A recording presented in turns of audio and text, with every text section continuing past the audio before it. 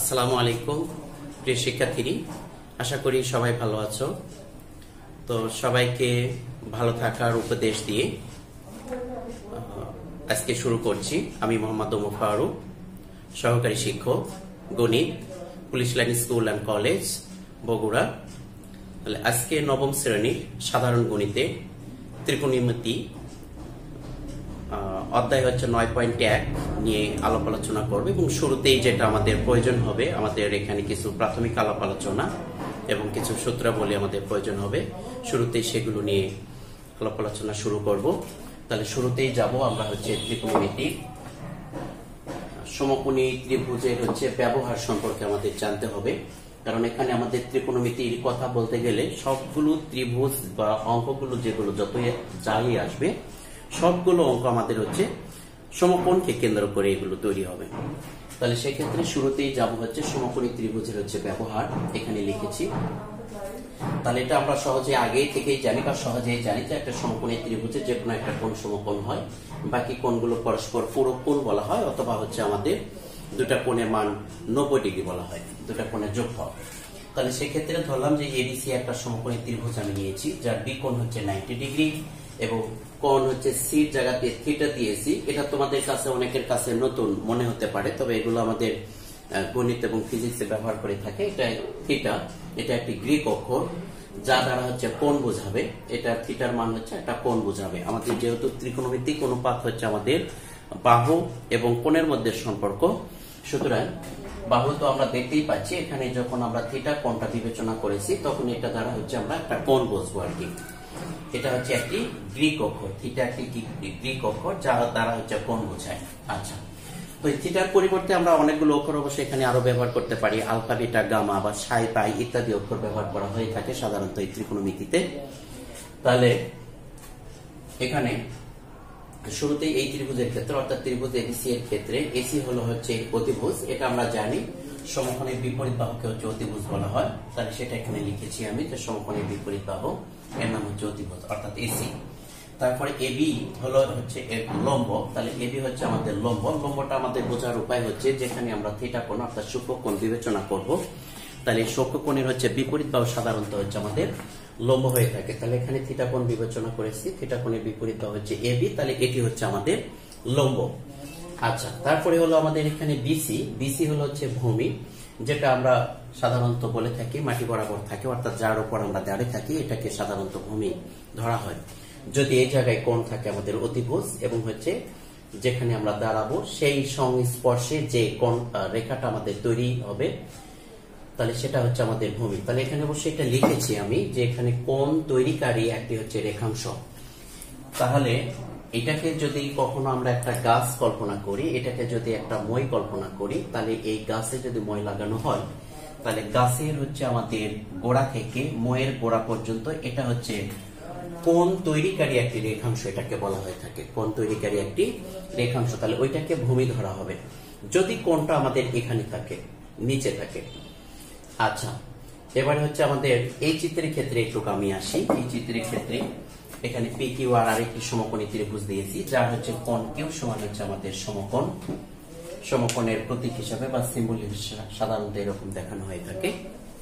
তাহলে এবার এখানে থিটা কোণটা এখানে না দিয়ে আমি এই জায়গাতে দিয়েছি, তাহলে সেক্ষেত্রে আমাদের একটু পরিবর্তন আসবে। তো সেই ক্ষেত্রে সমকোণের বিপরীত বা হচ্ছে অতিভুজ। অতিভুজ কখনো বদলায় না, পরিবর্তন হয় না। সমকোণী ত্রিভুজের অতিভুজ সর্বদা স্থির থাকে। বাট হচ্ছে আমাদের লম্ব আর ভূমি, এই দুটা কোণের উপর ডিপেন্ড করে। তাহলে যেহেতু এখানে কোণ দিয়েছি তাহলে এই কোণের বিপরীত বাহু, এটা হবে হচ্ছে আমাদের লম্ব, অর্থাৎ এখানে কিউ আর আমি এখানে লম্ব লিখেছি, এবং হচ্ছে পি কিউটা হবে হচ্ছে ভূমি, তাহলে পি কিউ আমরা ভূমি পাচ্ছি এই ক্ষেত্রে, যদি কোণ এখানে থাকে। তাহলে এই বিষয়টা তোমাদের জন্য অত্যন্ত গুরুত্বপূর্ণ, এবং মনে রাখতে হবে এইটা, যেটা ত্রিকোণমিতি যখন আমরা অনুপাতের এরকম অঙ্ক করব, তখন দেখব যে কোনটা আসলে কোথায় তৈরি করেছে কোনটা কোন জায়গায় আছে। এটা কিন্তু খুব লক্ষণীয় বিষয়, গুরুত্ব সহকারে তোমরা দেখবে। আচ্ছা তাহলে এরপরে যেহেতু এখন আমরা এখান থেকে একটা চিত্র থেকে বা এই চিত্রই কল্পনা করি অথবা এই চিত্র কল্পনা করি, সেখান থেকে আমরা হচ্ছে লম্ব ভূমি, অতিভুজ এগুলো ধারণা আমরা পেলাম। তাহলে এখান থেকে আমাদের হচ্ছে এখন এই যে ত্রিকোণমিতির যে ছয়টি সূত্র রয়েছে, আমাদের ত্রিকোণমিতির মূলত হচ্ছে এখানে অনুপাত হচ্ছে ছয়টি, আর সূত্র আমাদের অনেকগুলো সূত্র রয়েছে। তো জেনারেল ম্যাথে তুলনামূলকভাবে কিছু কম সূত্র ব্যবহার হয়, উচ্চতর গণিত সহ আরও বেশি সূত্র ব্যবহার করতে হয়। তাহলে সেক্ষেত্রে শুরুতে এখানে লিখছি সাইন থিটা ইকাল হচ্ছে লম্বা বস্তু। তাহলে যে কোনো সময় আমরা যখন সাইন থিটা লিখব, এই চিত্রের ক্ষেত্রে তাহলে আমাদের প্রযোজ্য হবে। তাহলে লম্বা ভাগ অতিভুজ লিখতে পারব আমরা। তারপর এই চিত্রের ক্ষেত্রে আমরা এগুলো সবগুলো সূত্র কল্পনা করব। cos থিটা ইকুয়াল হচ্ছে ভূমি ভাগ অতিভুজ তাহলে cos থিটা ইকুয়াল টু হচ্ছে ভূমি ভাগ অতিভুজ লেখা যাবে। তারপরে sec থিটা অতিভুজ ভাগ হচ্ছে ভূমি। sec থিটা ইকুয়াল হচ্ছে অতিভুজ ভাগ হচ্ছে ভূমি। একইভাবে cosec থিটা cosec থিটা হচ্ছে অতিভুজ ভাগ লম্ব, তারপরে থিটা হচ্ছে লম্ব ভাগ ভূমি এবং থিটা হচ্ছে ভূমি ভাগ লম্ব। তো এখানে আরেকটি বিষয় একটু লক্ষ্য করলে আমরা দেখতে পাবো যে এখানে সাইন থিটা আর হচ্ছে কোসেক থিটা একে অপরের বিপরীত। সাইন থিটা লেখা ছিল হচ্ছে লম্ব ভাগ অতিভুজ আর এখানে কোসেক থিটা হচ্ছে অতিভুজ ভাগ হচ্ছে লম্ব। থিটা এবং থিটা একে অপরের হচ্ছে বিপরীত। তাহলে থিটা ইকুয়াল টু ভূমি ভাগ অতিভুজ থিটা ইকুয়াল টু হচ্ছে অতিভুজ ভাগ ভূমি। একইভাবে থিটা এবং থিটা আমাদের হচ্ছে দুটো বিপরীত ভাবে আমরা লিখতে পারি। আচ্ছা এই ছিল হচ্ছে প্রাথমিক সমকোণী ত্রিভুজ সম্পর্কে কিছু প্রাথমিক আলাপ আলোচনা এবং ছোট কয়েকটি সূত্র। এর পরবর্তীতে আমরা আরও বেশ কিছু সূত্র পাবো এবং সূত্রের প্রমাণ পাবো। তাহলে ত্রিকোণমিতিতে আমরা আরও বেশ কিছু গুরুত্বপূর্ণ সূত্র দেখতে পাই যেগুলো আমাদের গণিতের জন্য খুবই গুরুত্বপূর্ণ আর কি। ত্রিকোণমিতির সূত্র। তাহলে এখানে সূত্রগুলি লিখেছি আমি সিরিয়ালি তোমরা একটু দেখো যে sine theta equal to one ভাগ cosec theta cosec theta equal one by sine theta cos theta equal to one divided হচ্ছে সেক থিটা তারপরে সেক থিটা ওয়ান ডিভাইডেড হচ্ছে cos theta tan theta equal হচ্ছে আমাদের one ভাগ cot theta cot theta equal to one ভাগ tan theta তাহলে আমরা এইটুকু যে সূত্র, ছয়টি সূত্র দেখলে এটা আমরা বসবো যে হচ্ছে একটা আর একটার বিপরীত। এখানে সাইন থিটা ইকাল টু লেখা যায় ওয়ান ভাগ cosec theta cosec theta equal to লেখা যায় হচ্ছে ওয়ান ভাগ সাইন থিটা ঠিক একইভাবে cos theta equal to one ভাগ সেক থিটা তাহলে সেক থিটা সমান লেখা হচ্ছে ওয়ান ভাগ কস থিটা এবার টেন থিটা ইকাল হচ্ছে ওয়ান বাই কট থিটা তাহলে cot theta equal to one ভাগ হচ্ছে সাইন থিটা এরপরে টেন থিটার আমাদের আরও দুটো সূত্র দেখা যায়। Tan theta equal to sine theta ভাগ কস থিটা এবং কট থিটা ইকাল টু হচ্ছে কস থিটা ভাগ সাইন থিটা এই দুটো মোটামুটি আমাদের বিপরীত ভাবে বলা যেতে পারে। তো এখন অনেক সময় হচ্ছে তোমাদের হচ্ছে প্রশ্ন জাগে যে, স্যার, আসলে আমি কোন অঙ্কতে কোন সূত্রটি প্রয়োগ করব? তাহলে সেই ক্ষেত্রে এটা আমাদের বোঝার বিষয় যে, ওই অঙ্কটা আসলে কোন দিকে যাচ্ছে বা কোন দিকে যাবে? এই অঙ্কই বলে দেবে তোমাকে যে, আমরা কোন সূত্রটা প্রয়োগ করব বা করতে হবে। যদি তোমার সূত্রগুলো মোটামুটি আয়ত্তে থাকে, তাহলে অঙ্কই তোমাকে বলে দেবে অ্যাকচুয়ালি আচ্ছা এরপরে আমাদের কয়েকটি স্কোয়ারের সূত্র রয়েছে। এখানে স্কোয়ার ছাড়া আরও রুটের সূত্র বলি ছিল কিছু। তো সেই সূত্রগুলো আমাদের উচ্চতর গণিতে আছে। তো যেহেতু এটা আমাদের সাধারণ গণিতের অংশ, সুতরাং সেগুলো আমি লিখি নাই। এখানে নয় নম্বর সূত্র sine square theta plus cos square theta সমান হচ্ছে ওয়ান এরপরে সাইন্স কার থিটা তাহলে সাইন্স কার থিটা এখানে ঠিক রাখলাম। তারপরে কস কার থিটাটাকে বাম পক্ষে থেকে ডান পক্ষে পার করে দিয়েছি, তাহলে এখানে হচ্ছে ওয়ান এখানে প্লাস ছিল পাশে এসে মাইনাস দাঁড়াইছে। তাহলে one minus cos square theta ঠিক একইভাবে আমরা কস কার থিটাটা বের করতে পারছি এখানে। তাহলে কস্তার থিটা এখানে বাম পক্ষে ঠিক থাকল সাইন্স কার থিটাকে এবারে বাম পক্ষ থেকে ডান পক্ষে পার করে দিচ্ছি, তাহলে one minus sine square theta আচ্ছা এরপর হচ্ছে sec square theta minus tan square theta equal one তাহলে একইভাবে আমি হচ্ছে একটা একটা করে পার করে দিয়েছি। তাহলে এখানে টেন স্কোয়ার থিটাকে যদি এপার থেকে পাশে পার করা হয়, তাহলে এখানে মাইনাস ছিল পাশে কি হচ্ছে আমাদের প্লাস এসে যাচ্ছে। তাহলে sec square theta equal to হচ্ছে one plus tan square theta এরপর tan square theta tan square থিটাটা আমাদের মানটা বের করা এখানে একটু ঝামেলা আছে এবং মাথায় তোমাদের রাখতে হবে সর্বদা। এটাকে যদি আমরা ওই পাশে পার করে নিয়ে যাই, ওয়ানটাকে যদি পার করে নিয়ে আসি, তাহলে যেহেতু এখানে সামনে মাইনাস আছে, তাহলে ওই পাশে গেলে প্লাস হবে। আর ওইটা ওই পাশ থেকে পাশে এসে হচ্ছে মাইনাস হবে। তাহলে sec square theta minus one সমান হচ্ছে টেন স্কোয়ার থিটা তাহলে তাই লেখা আছে sec square theta equal to one plus হচ্ছে sorry tan square theta equal to হচ্ছে sec square theta minus one এটার ক্ষেত্রে। আচ্ছা এরপরে cos square theta minus cot square theta equal হচ্ছে ওয়ান তাহলে এটাকে যদি পার করে দুই পাশে হয় প্লাস হয়ে গেল। ঠিক একইভাবে কট স্কোয়ার থিটা অর্থাৎ এটার মানটা যদি বের করতে চাই, তাহলে এটাকে পার করে নিয়ে যাচ্ছে আর ওয়ানটাকে পার করে নিয়ে এসেছি। তাহলে কোস স্কোয়ার থিটা মাইনাস হচ্ছে ওয়ান এরপরে আরও একটি বিশেষ বৈশিষ্ট্য আমরা একটু দেখব। এটা ত্রিকোণমিতির বিশেষ বৈশিষ্ট্য বলব। এটা প্রমাণে আমরা খুব দিয়ে থাকি যে sine theta plus cos theta greater than one অথবা এখানে গ্রেটার দেন হাফ দেওয়া হয় গ্রেটার দেন জিরো দেওয়া হয় greater than one by four দেওয়া হয়।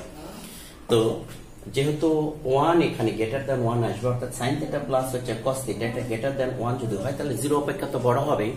ওয়ান বাই ফোর অথবা ওয়ান বাই থ্রি অথবা হাফ এগুলো সবগুলোর অপেক্ষায় হচ্ছে বড় হবে। তাহলে এটা বিশেষ বৈশিষ্ট্য আমাদের, এটা আসলে এখানে সূত্র হিসেবে ব্যবহার হয় না। তবে প্রমাণের ক্ষেত্রে এটা আমাদের আসে পরীক্ষায়। এবং এটার প্রমাণটা আমরা পরবর্তীতে দেখব ইনশাল্লাহ তো এখানে আরেকটু বিষয়, একটু লক্ষ্য রাখব। আমি তিনটা সূত্রকে এখানে বক্স করে দিয়েছি আমি। এই তিনটা সূত্রের প্রমাণ আমাদের যান্ত্রিক ভাবে বা জ্যামিতিক পদ্ধতিতে প্রমাণ এসে যায়। বারবার এসে যায় এবং অত্যন্ত গুরুত্বপূর্ণ। তাহলে এই জন্য এই তিনটা জ্যামিতির আমরা প্রমাণও দেখব। তো তার মধ্যে থেকে আমি একটা প্রমাণ করে দেবো ইনশাল্লাহ সেজন্য এটাকে বক্স করে একটু করে দিই। তাহলে শুরুতেই আমরা আসলাম হচ্ছে ত্রিকোণমিতির যে সূত্রাবলীগুলো রয়েছে, তার মধ্যে থেকে প্লাস ইকুয়াল ওয়ান এই সূত্রটি প্রমাণে আসলাম, বা প্রতিপাদন বলা যেতে পারে। এটা আবার বলা হয় একে জ্যামিতিক পদ্ধতিতে প্রমাণ। তাহলে সেক্ষেত্রে শুরুতেই হচ্ছে আমরা যাব, মনে করি ওই এক্স যে কোনো একটি আদি অক্ষরেখা, তাহলে ওই এক্সটা এটা যে কোনো একটা আদি অক্ষরেখা ধরা হয়। তারপরে এটি ঘড়ির কাটার বিপরীত দিকে ঘুরে, ঘড়ির কাটা আমাদের সাধারণত এই দিক দিয়ে ঘুরে, ডান দিকে উপরে থাকি আমরা তাহলে ঘড়ির কাটা হচ্ছে বিপরীত মানে বামে চলে যাব আমরা। তাহলে উপরের দিকে, ঘড়ির কাটার বিপরীত দিকে, অর্থাৎ হচ্ছে এক্স ও ওয়াই সমান হচ্ছে থিটা কোণ। তাহলে ঘুরে থিটা কোণ আমাদের হচ্ছে এখানে উৎপন্ন করে। ও ওয়াই এর উপর পি যে কোনো একটি বিন্দু নেই। তাহলে পি বিন্দুটা ও ওয়াই এর উপর যে কোনো হচ্ছে একটা বিন্দু। এই বিন্দুটা আমরা আরও একটু দূরে বা কাছে নিতে পারব, অসুবিধা নেই আমাদের। এরপরে ও এক্সের উপর পি এমটা হচ্ছে লম্ব আঁকা হয়েছে। তাহলে লেখা হয়েছে ও এক্সের উপর হচ্ছে পি এম লম্ব আঁকি। এবার, তাহলে এটা একটা সমকোণী ত্রিভুজ হয়ে গেল নিশ্চিত আমাদের। তাহলে এটা সমকোণ যদি হয়, সমকোণের বিপরীত বা হচ্ছে অতিভুজ থিটা কোণের বিপরীত বাহুটা হচ্ছে লম্ব। আর আমাদের হচ্ছে কোণ সৃষ্টিকারী রেখাংশ, এটা হচ্ছে আমাদের ভূমি। তাহলে ঠিক সেভাবে এটা একটু লিখলাম যে এখানে ওপি হলো অতিভুজ ত্রিভুজটি এম হলো লম্ব এবং ও এম হলো হচ্ছে ভূমি। তাহলে এটা থিটা কোণের সাপেক্ষে, থিটা কোণের সাপেক্ষে হচ্ছে আমাদের এটা লম্ব হয়। তাহলে সেটা লিখলাম যে থিটা সাপেক্ষে। আচ্ছা তাহলে এটা যেহেতু একটা সমকোণী ত্রিভুজ আমাদের একটি, তাহলে সুতরাং এই ত্রিভুজ থেকে হচ্ছে পিথাগোরাস উপপাদ্য থেকে আমরা পাই। তাহলে পিথাগোরাস উপপাদ্য থেকে আমরা কি পাই? অতিভুজ স্কয়ার ইকুয়াল হচ্ছে লম্ব স্কয়ার প্লাস হচ্ছে ভূমি স্কয়ার। তাহলে সেই জিনিসটা আমরা এখানে লিখলাম।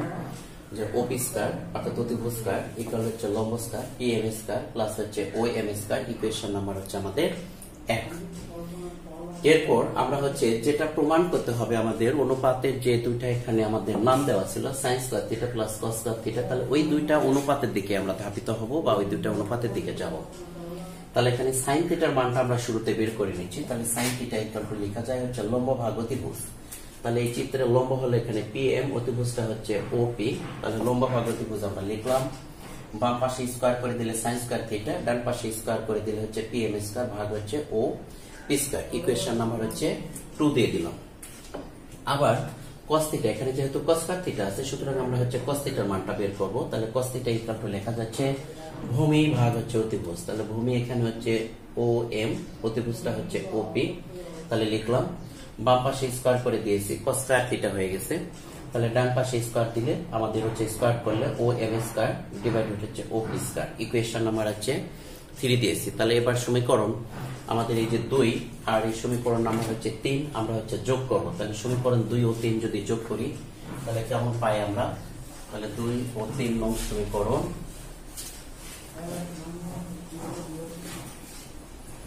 যোগ করে সমীকরণ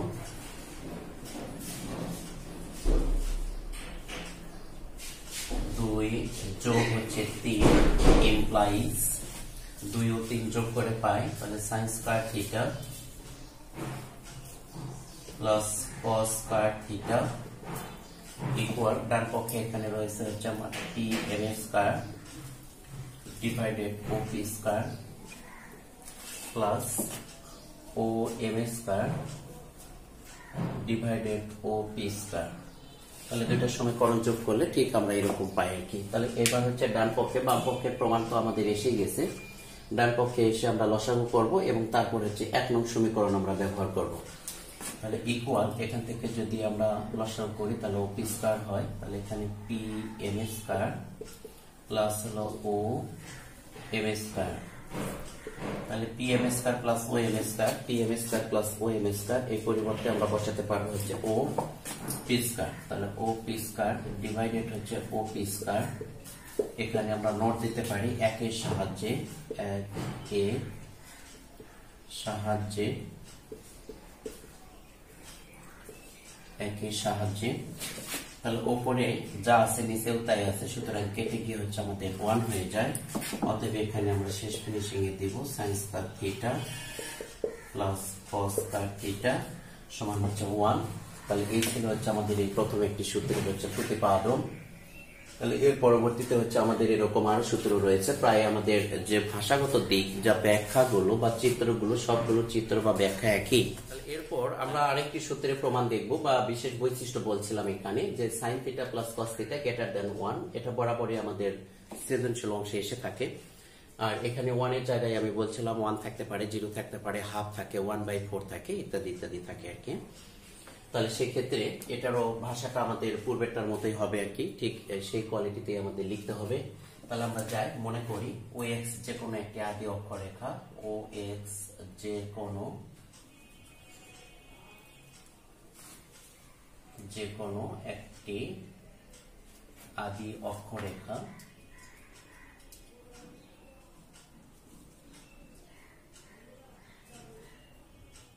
আদি অক্ষরেখা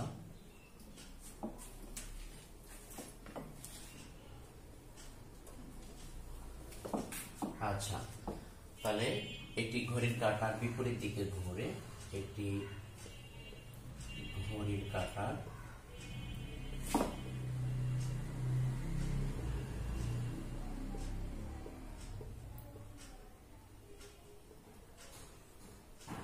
বিপরীত দিকে ঘুরে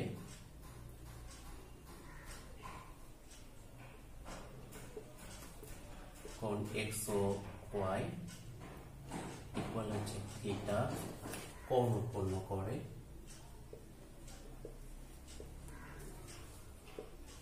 উৎপন্ন করে এরপর ও ওয়াই এর উপর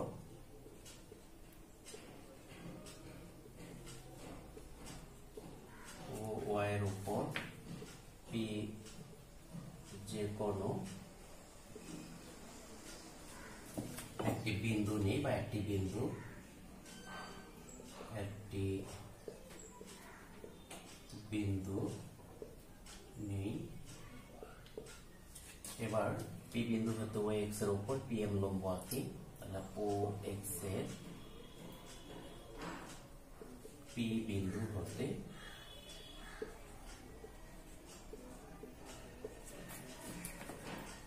ও এক্সের উপর পি এম লম্ব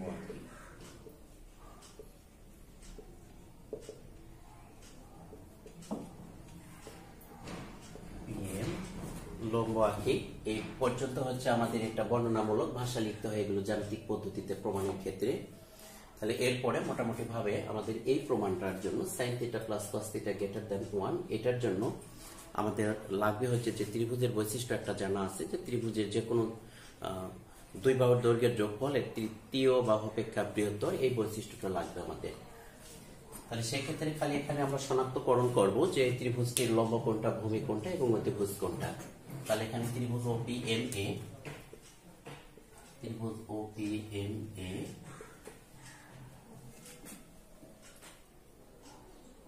অতিভুজ আমাদের এখানে, অতিভুজ ইকুয়াল ওপি তারপরে লম্ব ইকুয়াল পিএম এটা হলো আমাদের থিটা কোণের সাপেক্ষে থিটা কোণের সাপেক্ষে আচ্ছা এরপর হচ্ছে আমাদের ও এন হলো এখানকার ভূমি তাহলে ভূমি সমান ভূমি ইকুয়াল হচ্ছে তাহলে এটা পাচ্ছি আমরা সমকোণী ত্রিভুজের লম্বভূমি এবং অতিভুজ যেটা হয়ে থাকে, সেটা আমরা এখানে পেলাম। এরপরে আমাদের সাইন থিটা আর কস থিটার মানটা বের করে নিয়ে আসতে হবে এখানে।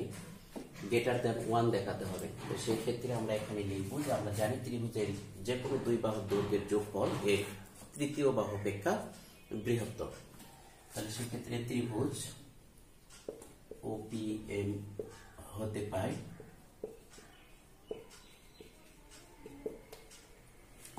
P M plus O M greater than O P greater than হচ্ছে আমাদের ওপি নোট হবে ত্রিভুজের যে কোনো দুই বাহুর দৈর্ঘ্যের যোগফল, এর তৃতীয় বাহু অপেক্ষা বৃহত্তর আচ্ছা এটা নোটটা এখানে থাকবে। তাহলে বা, উভয় পক্ষকে ওপি দ্বারা আমরা ভাগ করব। তাহলে পি এম প্লাস হচ্ছে O M divided O P greater than O P divided হচ্ছে ও পি। উভয় পক্ষকে আমরা ভাগ করে দিলাম ওপি দ্বারা। উভয় পক্ষকে এখানে ওপি দ্বারা ভাগ করে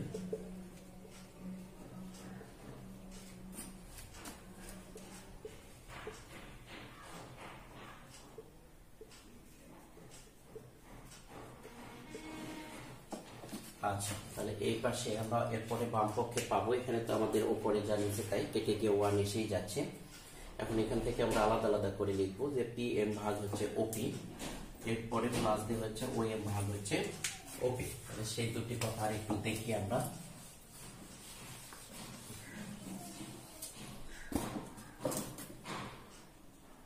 বা এখানে পি এম ডিভাইডেড হচ্ছে আমাদের O P plus O M divided O P greater than one এখন আমাদের চিত্রতে যেতে হবে পিএম ভাগ হচ্ছে ওপি এই চিত্রে হচ্ছে পিএম ভাগ হচ্ছে ওপি তাহলে পিএমটা হলো এই চিত্রের আমাদের লম্ব আর ওপিটা হচ্ছে অতিভুজ। তাহলে লম্ব ভাগ অতিভুজ ইকুয়াল হচ্ছে সাইন থিটা লেখা যাচ্ছে এখানে।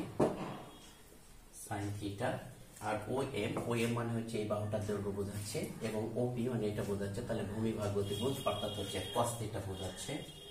তাহলে কস থিটা গ্রেটার দেন হচ্ছে ওয়ান সাইন নোট দিলে আমরা দিতে পারি সর্বোচ্চ যেখানে সাইন থিটা ইকুয়াল লম্ব ভাগ অতিভুজ লম্ব ভাগ অতিভুজ এবং কস ইকুয়াল ভূমি ভাগ অতিভুজ ভূমিভাগ অতিভুজ তাহলে আমরা এইটুকু ব্যবহার করতে পারি এখানে। এবং এটাই হচ্ছে আমাদের এই যে বৈশিষ্ট্য ছিল, সেই বৈশিষ্ট্যের আসলে প্রমাণ। তাহলে আশা করি বুঝতেও পেরেছ এবং তোমাদের এগুলো একটু গুরুত্ব সহকারে দেখতে হবে। তাহলে আজকে এ পর্যন্ত রেখে সবারই সুস্বাস্থ্য কামনা করে শেষ করছি। আল্লাহ হাফেজ।